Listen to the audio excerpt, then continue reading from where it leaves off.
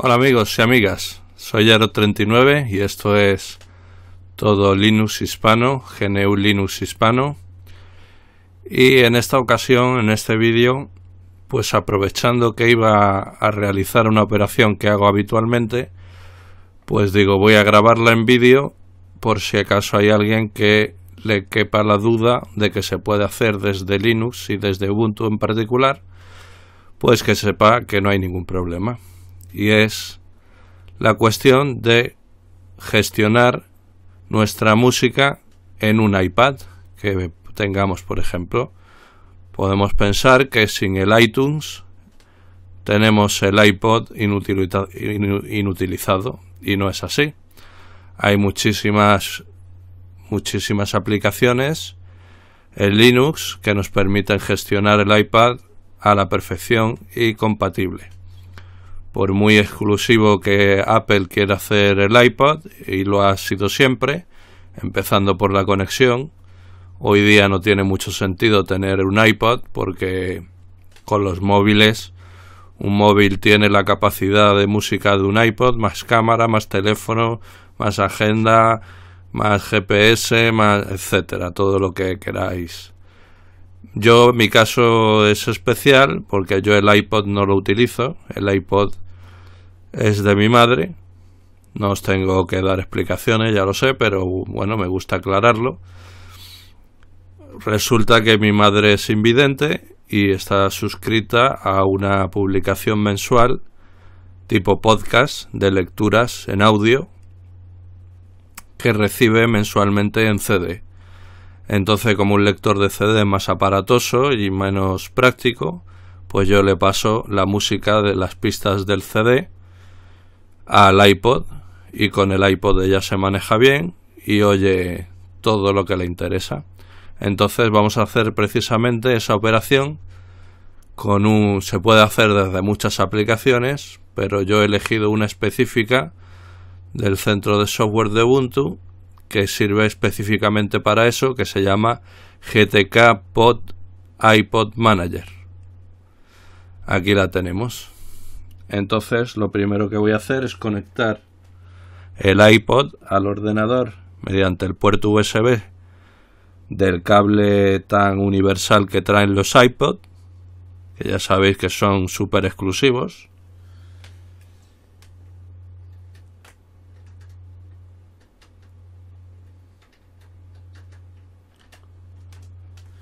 Ya está conectado. Enseguida me lo reconocerá. Vamos a ver.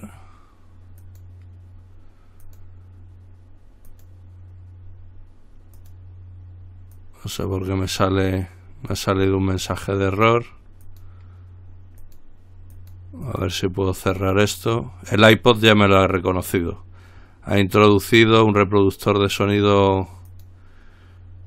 Me ha cerrado el programa, pero se vuelve a abrir. Bueno, se me ha abierto Ringbox es que con Readbox también se puede hacer. No sé, vamos a utilizar el que tenía yo pensado en principio.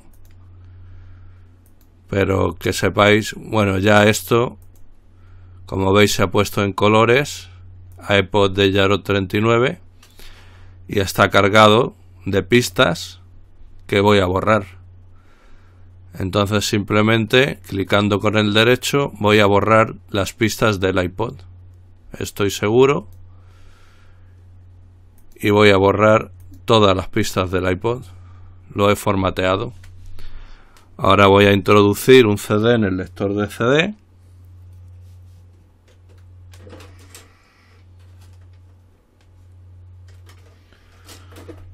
Ahora lo reconocerá también el programa.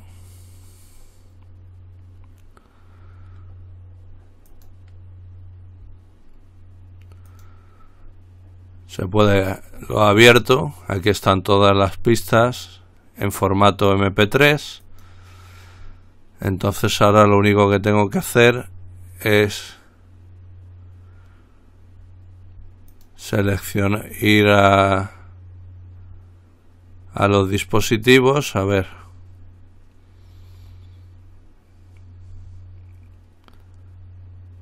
Hay que elegir el dispositivo.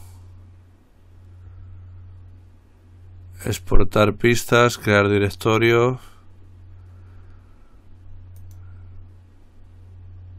Añadir archivos al iPod seleccionado. Exacto. Nos vamos a al CD. Seleccionamos todas las pistas de audio. Esto es para que veáis que no necesitamos el iTunes para nada. Selecciono todas las pistas que vienen en el CD. Si me deja, le doy a abrir.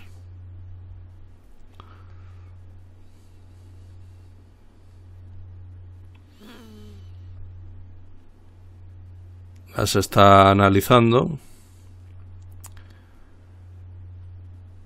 y se sincronizará con el iPod inmediatamente. Las cargaré en el iPod. Tengo dos CDs y esto pues lo hago mensualmente. Y el iPod no sé cómo tuvo tanto éxito porque un aparato de ese precio, de calidad y, y de una buena marca que no tuviera radio, por ejemplo, pues nunca he entendido cómo tuvo ese éxito cómo sigue vendiéndose con los móviles que hay hoy día, porque que tenga éxito el iPhone, aunque yo soy seguidor de Android, por supuesto, tengo un Galaxy con el que estoy muy contento y no tiene nada, yo creo incluso que es superior al iPhone, por lo que he visto, mucho más configurable. Los productos Apple son bonitos, pero son muy cuadriculados bueno, vamos a ver. Aquí me da un problema con algunos archivos, pero la mayoría, que son los importantes, están seleccionados y por tanto los voy a pasar añadir archivos al iPod seleccionado.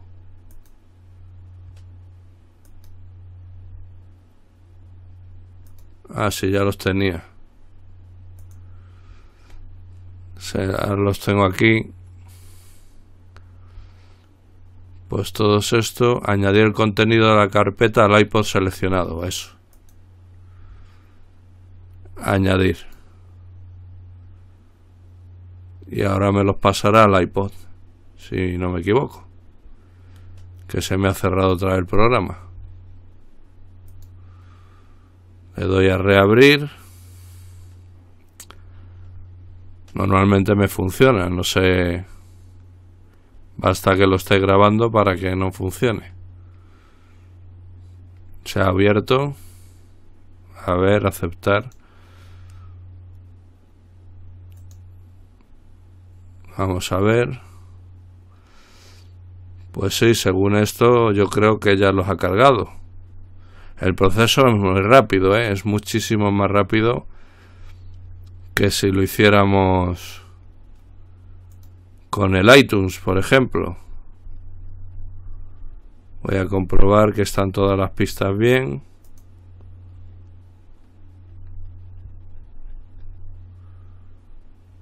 O no estoy yo muy seguro. Porque se llaman de otra manera. Biblioteca de música. Añadir lista de reproducción al iPod seleccionado. Añadir el contenido de la carpeta al iPod seleccionado.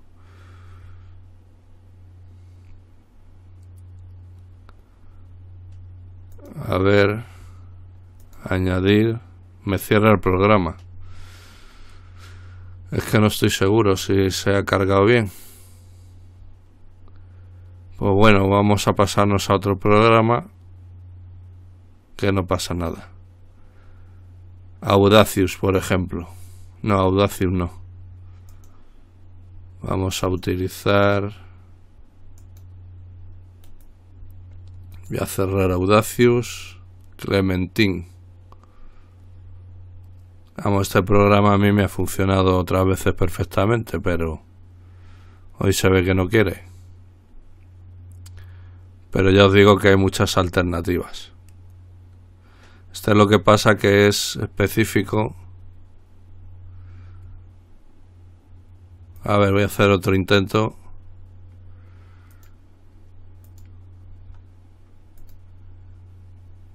Biblioteca de música.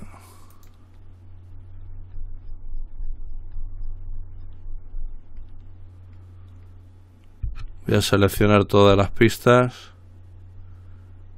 y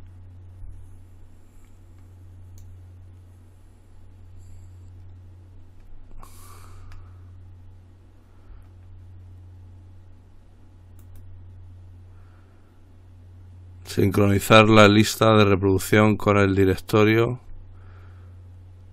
copiar la lista de reproducción seleccionada a el iPod. Vamos a ver. Si me lo pasa perfectamente.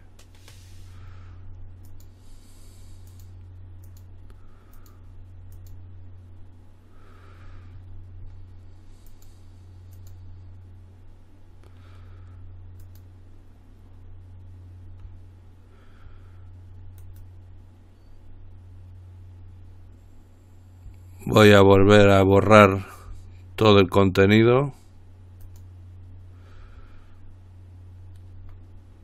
Y voy a volver a hacerlo. Copiar la lista de reproducción seleccionada al iPod. Para estar seguro que son estas pistas.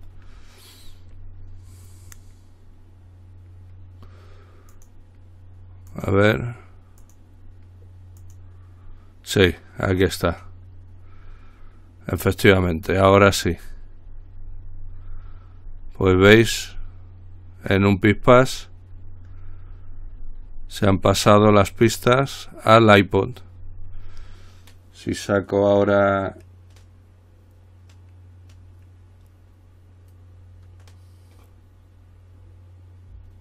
conectado, voy a sacar el CD.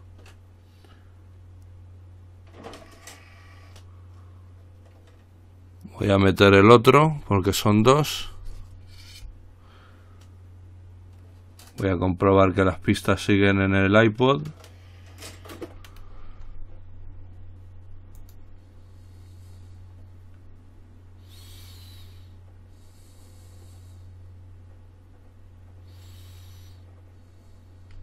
Ha introducido un CD de sonido. Elija qué aplicación lanzar.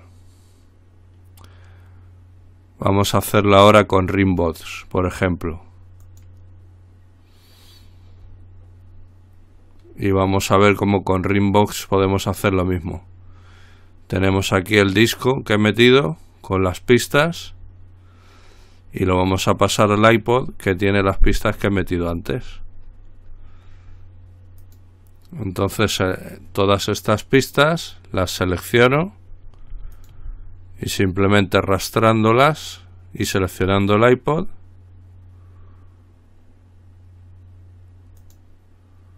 las copia.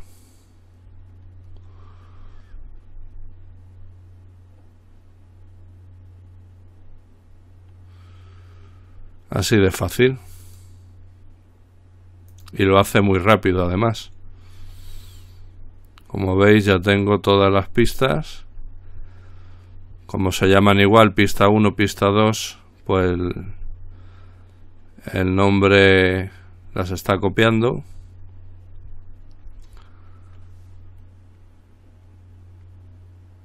Se está sincronizando.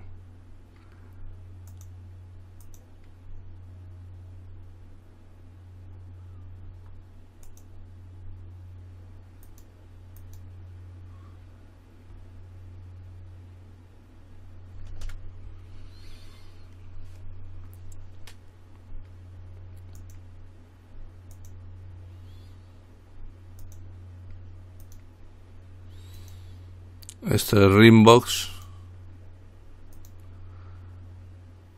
Yo creo que esto ya ha terminado. Voy a comprobar el disco cuántas pistas tenía. 15. A ver si aquí me ha copiado hasta la 15. No, porque está hasta la 14. aquí hay una barra de progresión. 39 canciones. Pero eso es lo que tardaría. yo creo que está en proceso todavía. Así que lo voy a dejar.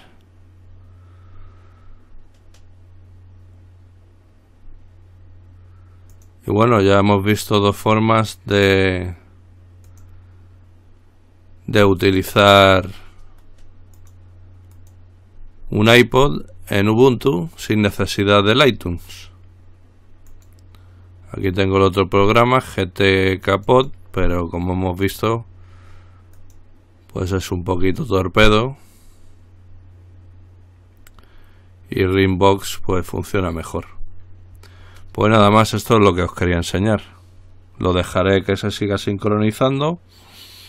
Luego comprobaré que está hecha bien la grabación y funciona porque estoy harto de hacerlo y se graba a la perfección sin necesidad de iTunes ni ningún derivado de Apple.